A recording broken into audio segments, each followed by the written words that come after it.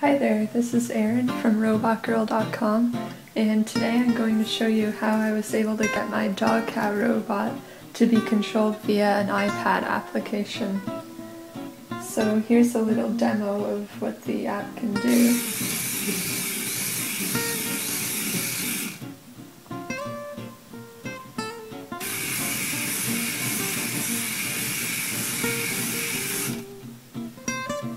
And so basically the iPad is just showing a D-pad where I can send the dog cow robot going forwards, backwards, left or right. So the way that I made this was to use the external accessory framework for uh, iOS and this was released in iOS version 3. And so we use the connect and disconnect notifications first of all. And then we connect to an accessory with a given protocol string, and then we open the input and output streams. To send the data, we write to the output stream. To read the data, we read from the input stream.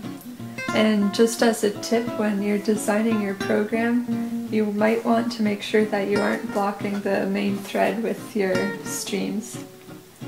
So now that I explained the program, I'll explain the cable and the connection aspect of it.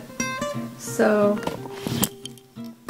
the cable is actually just a Skywire cable, and the Skywire cable is used to control telescopes.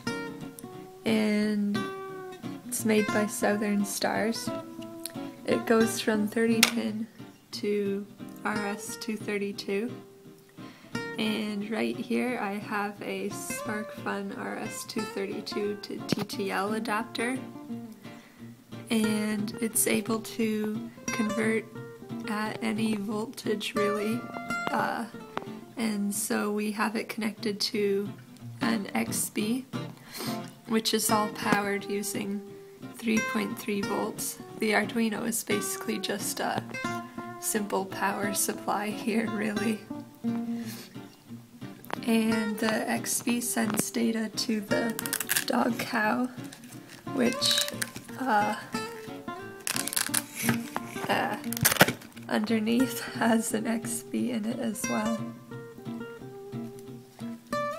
Uh, the reason why we use XBee and not Bluetooth or Wi-Fi is because we want to be able to use the mesh networking power of XBee and we also want to have it low powered enough for it to be on a mobile robot. Alright, so uh, on the dog cow, it's just an Arduino and it's running a really simple program that checks to see what byte it has received. And then it if it was one of the four bytes for movement then it will do the movement. And that's pretty much it. As you might have seen there was a bit of lag and that's because there's no real buffer uh, code on the dog cow Arduino. So it's just doing it all in real time and sometimes it can't catch up. So that's pretty much how I made Dog Cow Robot work with uh, the iPad. And so here I'll show a demo again. This time the cable is unplugged so I plug it in tells me that it's been successfully connected. And then I can just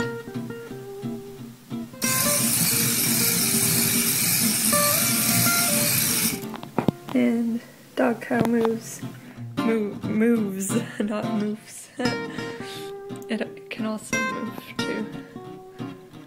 So yeah. Um, if you want to do this, just get a Skywire cable, an RS-232 to TTL adapter, and use the EA demo code that is available for everyone on the developer website.